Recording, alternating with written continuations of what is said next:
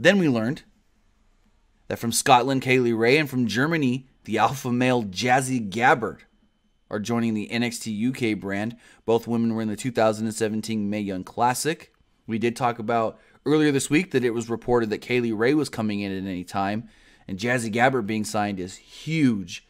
I know Jazzy Gabert really wanted to come back to WWE. She talked about it on the Edge and Christian podcast, where she wanted to come back after the Mae Young Classic. They were looking to sign her, and she couldn't pass her medicals. She had surgery to fix, I forget what it was that was a bothersome.